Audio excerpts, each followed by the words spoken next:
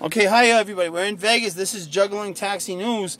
We're with the an NFR Wrangler guy.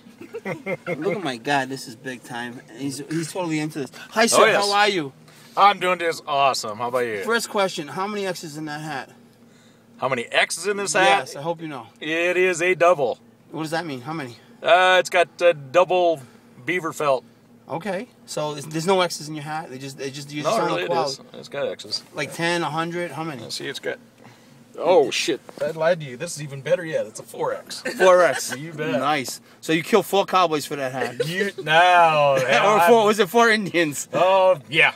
Okay, I was just kidding, just joking. We know you're a good guy. Okay, well look at that, look at that, look at that. Okay, tell me about you. Was it your daughter that won? Who who won? My sister. Your sister. Tell me about your sister.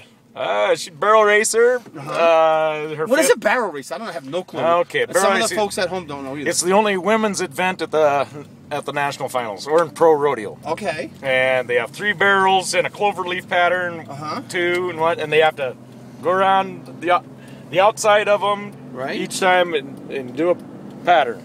Basically, a clover clover leaf pattern. Cloverleaf pattern. Fastest time wins. the fastest time Fastest wins. time wins. I Yes. heard back there. Back there. Fastest time wins. Yes. You heard it. You heard it live, folks. Juggling Taxi News, Vegas, baby. Vegas, baby.